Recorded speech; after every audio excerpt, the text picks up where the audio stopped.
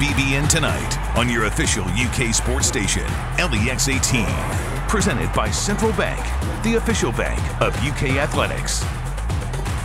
Welcome back to BBN Tonight. Kentucky players for both the men's and women's continue to draw national attention. Brandon Boston and Olivier Sarr have been tabbed to the John Wooden Award watch list, awarded annually by the Los Angeles Athletic Club to the nation's most outstanding player.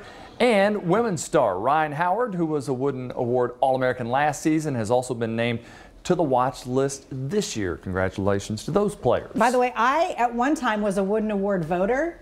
Yeah. And I voted for Gerald Fitch to win it, and then they revoked my, my vote. Oh. Hmm. Thanks to Mike Pratt for joining us tonight. We'll see you next time on BBN Tonight. Don't forget to follow us on Facebook, Twitter, and Instagram.